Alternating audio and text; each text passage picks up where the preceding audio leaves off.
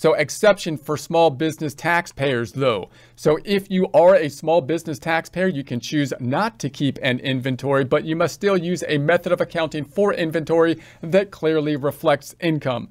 So now they're saying there could be certain situations where, where possibly you have inventory that you're selling, but they're not requiring you to track inventory. Possibly you're not holding on to a lot of inventory. You have a just in time uh, kind of system. You purchase the inventory or you make something quickly and then sell it. Therefore, there's not a huge timing difference between you know when the inventory is purchased or or made and when you sell it and so it might not be worth the complication in that case of tracking the inventory and so so you might fall into that kind of category.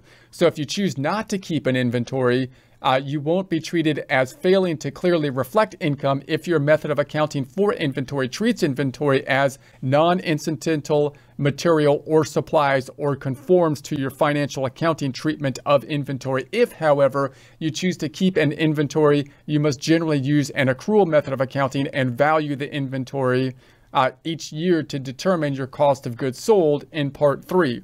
So if you have inventory that you're tracking, it's substantial to the business. You, you can't just expense it when you purchase or make the inventory because you might be holding on to a significant amount of it and that would greatly distort your income uh, reporting in the proper year.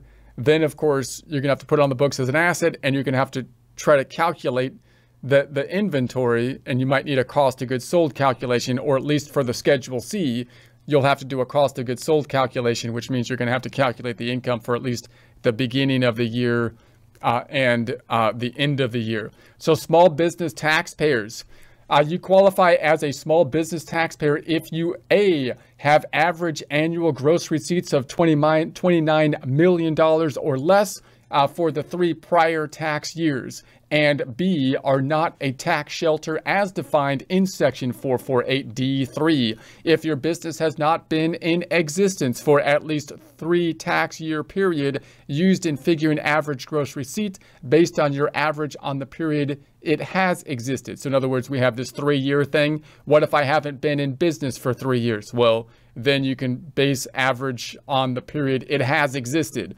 So, and if your business has a uh, predecessor entity